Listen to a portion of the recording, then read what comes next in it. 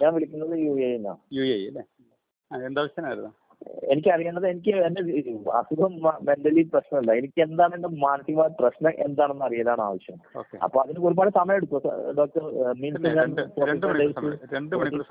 എന്റെ പ്രശ്നം എന്ന് പറഞ്ഞാൽ വലിയൊരു പ്രശ്നമില്ല എന്നാൽ എനിക്കത് വലിയ പ്രശ്നമാണ്. അപ്പൊ ഞാൻ ചോദിക്കുന്നത് ഈ തേർട്ടി ഡേയ്സിന്റെ ഉള്ളിലൊക്കെ ഒരു ട്രീറ്റ്മെന്റ് ചെയ്ത് മാറ്റാൻ പറ്റുന്ന ഒരു സംഭവമാണോ?